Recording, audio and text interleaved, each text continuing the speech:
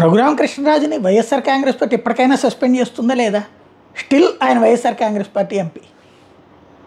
లేకపోతే అనకాపల్లి సీట్ ఏదో ఖాళీగా ఉన్నట్టుంది. ఇచ్చేస్తారా వైసీపీ తరపున? ఎందుకంటే ఇప్పుడు వీళ్ళ మీద కోపం ఉంది.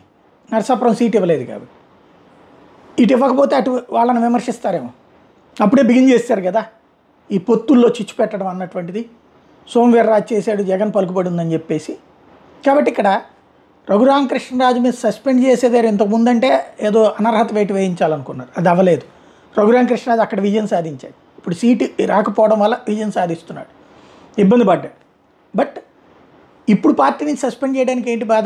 ఇంకా ఆయన ఎక్కడ మాట్లాడినా వైసీపీ ఎంపీ అనినే ఉంటుంది. ఇంకా ఎందుకు వెనకాడుతుంది అనేదే అర్థం కానటువంటిది మిలియన్ డాలర్ల ప్రశ్న.